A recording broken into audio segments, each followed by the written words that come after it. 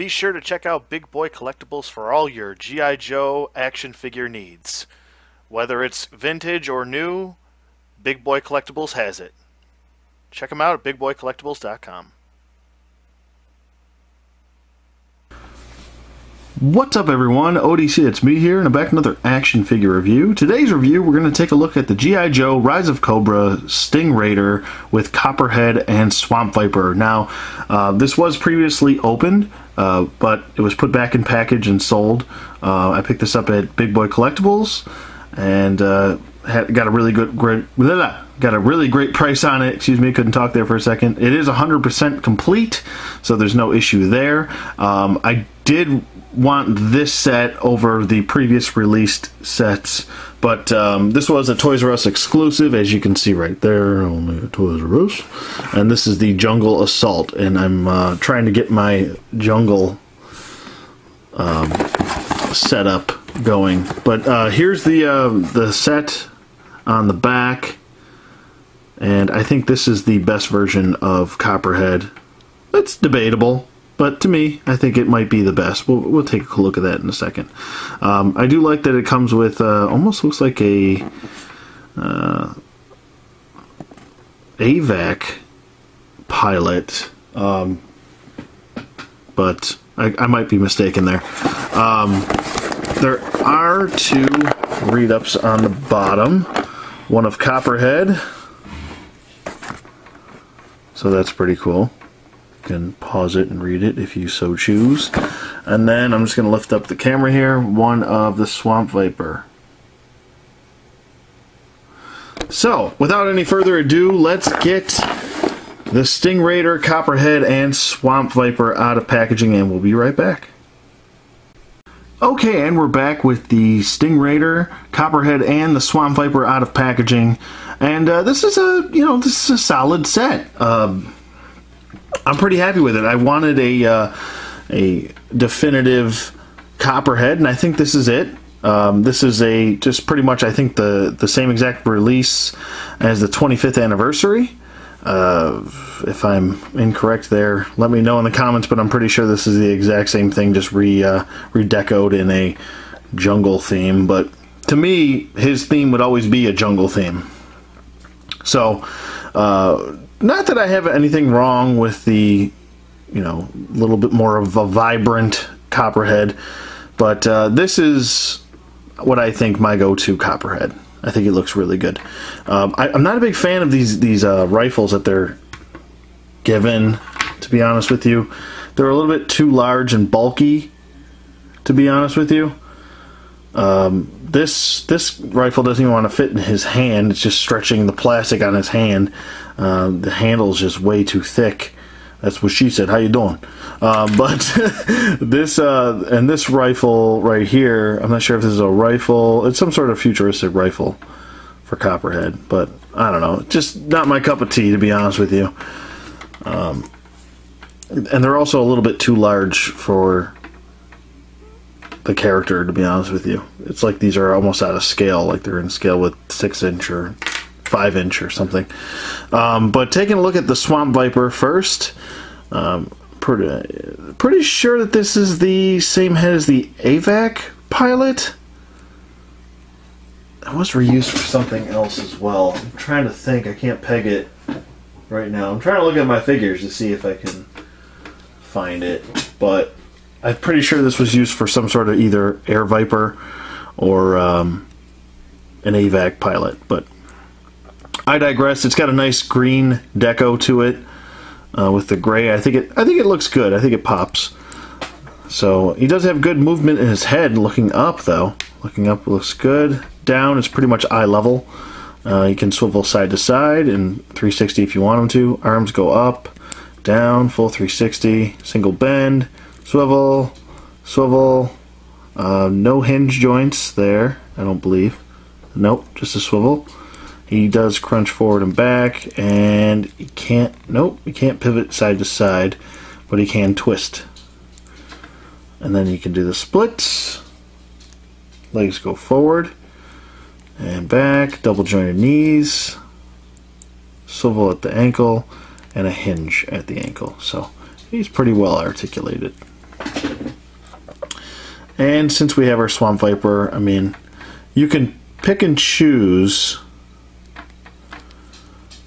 who you want to drive the Sting Raider and who you want to have the gunner. So I'm probably going to have him as the gunner, and then I'll probably have... Actually, you know what? I might switch it up and actually have Copperhead as the gunner.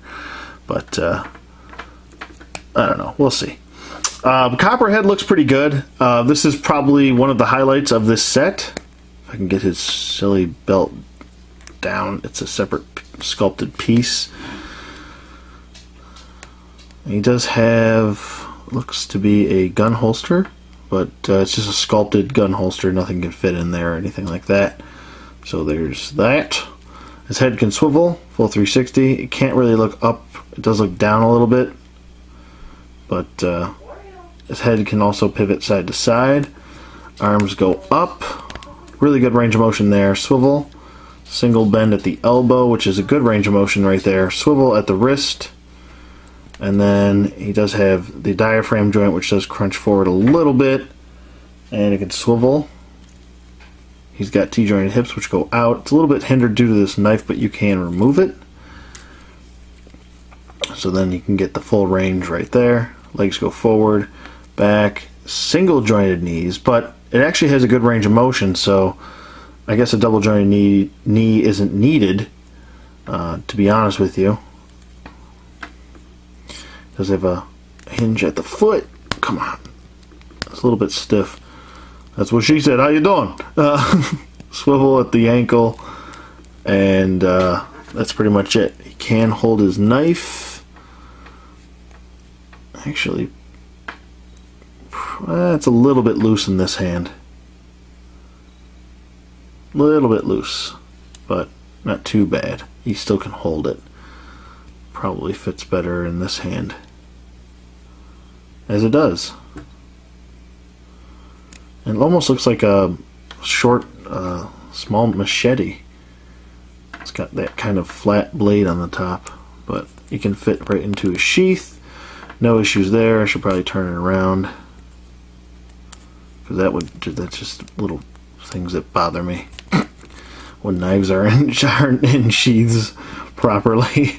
Um, he can fit into, well, actually, before we get to that, they do come with two display stands that just say Copperhead and Swamp Viper, and it's got the Cobra logo on the bottom. Pretty self-explanatory there. Uh, I didn't put a whole lot of stickers on here. I only put two stickers because this thing already came with stickers on it. So I don't know. I don't. I don't see the point on overdoing something.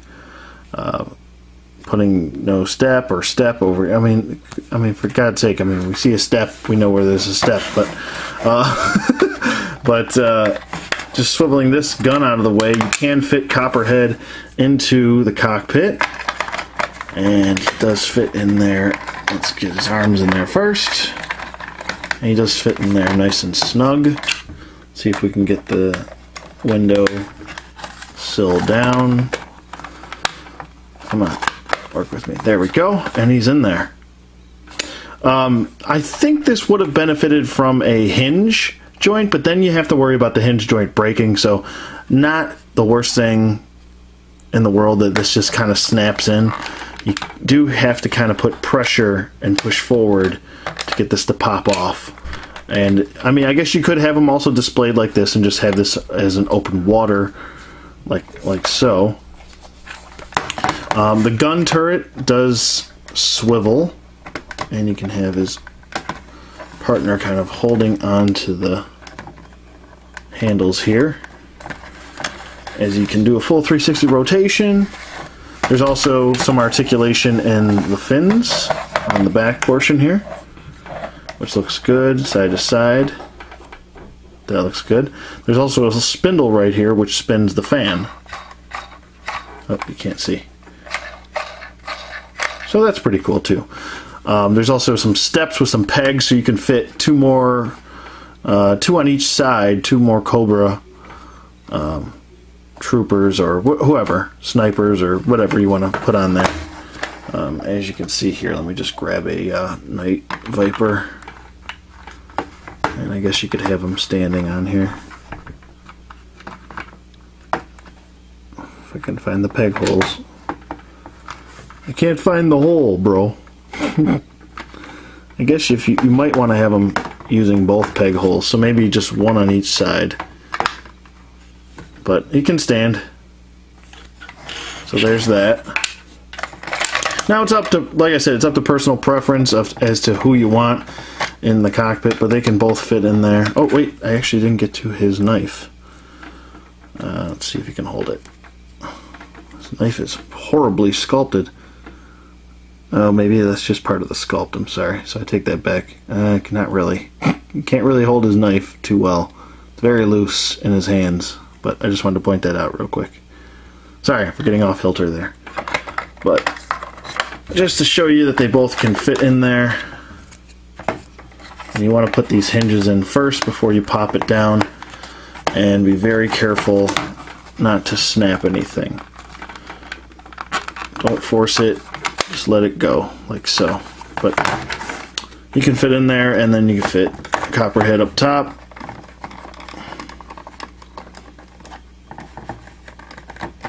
Like so. Boom, shalak lock, boom.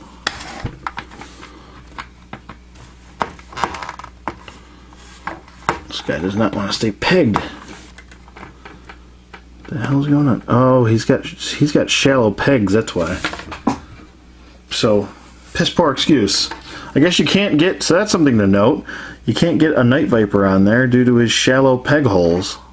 So it's not actually the vehicle. But this looks really good. I do like it. I would definitely recommend getting it if you were trying to um, build up your jungle assault dios if, if you're doing those. I do like the detail. I like the um, the, the camo on the Sting Raider, and uh, I love that it comes with two figures. How that's very rare. And first of all, it's rare that we get one figure with a vehicle, let alone two. Um, but uh, yeah, I would definitely recommend this. And before I let you guys go, before I do that, why don't we do the let's see if it floats test? Because we got to do that. It's a G.I. Joe review. And we got to see if it floats. Okay, we're back. I got a Tupperware container full of water. And uh, let's see if, if the Sting Raider floats. Let's hopefully it doesn't sink. looks like it's floating so far. I'll give it another 10 seconds. See if it sinks. well, it looks like it's floating, so pretty good. So definitely two thumbs up. It it has a function. It floats. So whether you're a child or whether you're a grown adult and you still play with toys in the bathtub, um, you can uh, have some fun with this guy or in in your pool. It is summertime. I mean. Uh, so, yeah, definitely works. Uh, this would definitely work with displays too. I mean, uh, even with two figures in there and the, all the weight on there, um, it's uh, it's still floating good. So, if you're using these for dio pieces or, or dioramas, uh, and you're, you're set up in a let's say a park or something like that with a stream or a waterfall around, it will float. So that's fantastic. Definitely two thumbs up as I repeat myself, sorry. And uh, yeah, let me know what you guys think in the comments below. Thank you for watching as always. And I'll see you guys on the flip side.